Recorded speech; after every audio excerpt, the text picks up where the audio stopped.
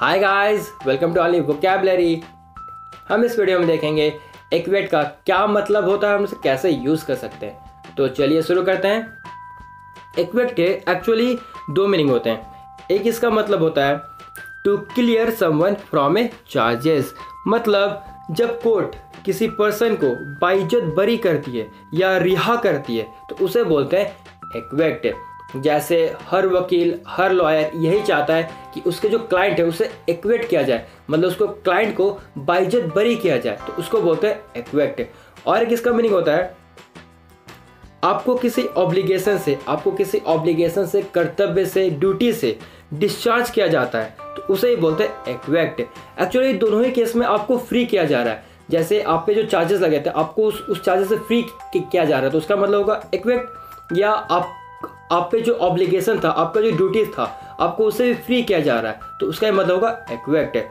आप mostly viewer का ये मीनिंग शायद आपको पता होगा बट शायद सेकेंड मीनिंग जो बताने वाला हूँ, वो शायद नहीं पता होगा।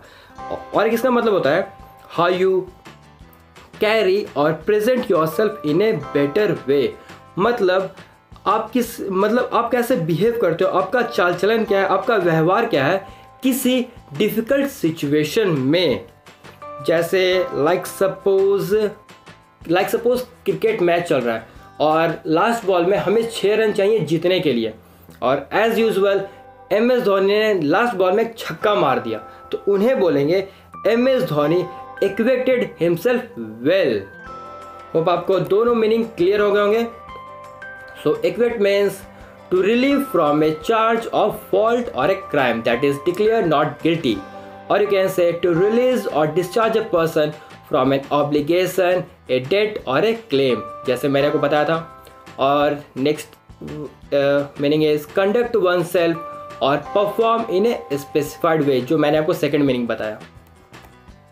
और इसे आप हिंदी में बोल सकते हो बरी करना जैसे किसी मुजरिम को बरी करते हो तो बरी करना मुक्त करना मतलब फ्री करना जैसे किसी ऑब्लिगेशन आपको फ्री मिलता है फ्री किया जाता है उसे बोलते हैं मुक्त करना या रिहा करना। अब इस वर्ड को याद कैसे रखें? तो आप इसको करो रिलेट टू वर्ड से A C S plus quit okay इसको मैंने दो पार्ट में लिया ए सी प्लस क्वेट तो ए सी को मैंने किया एक्यूज एक्यूज मतलब होता है मुजरिम। और एक्यूज अगर अगर यहाँ डी नहीं रहता तो इसका मतलब होता है एक्यूज एक्यूज का मतलब होता है आरोप लगाना।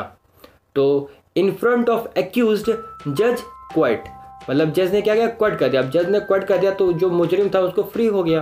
तो वो हो गया एक्वेक्ट एंड इसके सिनोनिम्स है absolve clear exonerate exculpate declare innocent find innocent pronounce not guilty and इसके एंटोनिम्स है accuse blame charge condemn convict hold incriminate punish sentence keep censor and guys इसके एग्ज़ाम्पल से क्लियर हो जाएगा।